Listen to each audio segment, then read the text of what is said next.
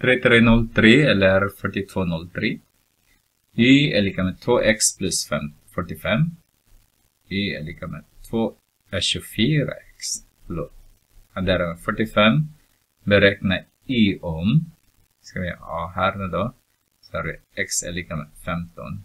Så har vi y är lika med 24. X som är 15 just nu. Så 5 multiplicerar med 15 Där är 45 tar vi 240 och därmed 120 va? 24 gånger 5. 120. Och därmed 45. Vi kan göra på det här sättet också. 24 multiplicerar med 5. Så har vi 120, ja. Varför gjorde jag det? Därför 24, gånger 10 är 140. Och sen hälften av det så får man en eh, uh, 120 då. Så 240. Då har vi 5, har vi 4, 6, 10 och 405. Ska titta på B.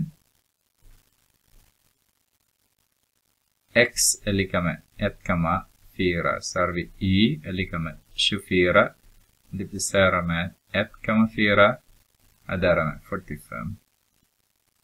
Så har vi 24 multiplicerar med 1,4 så 16 har vi där då.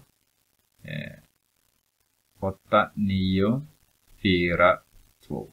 Där har vi använt redan. Så, så 6, 13, 336, men vi har en decimal så 33,6.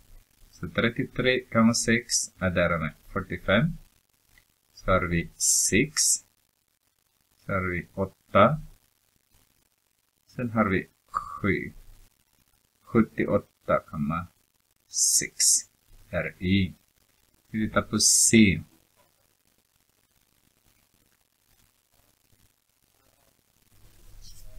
C. X är lika med 0. Så har vi Y är lika med 24. Addera, jag multiplicerar med 0, adderar med 45. Det här är 0 så har vi Y är lika med 45.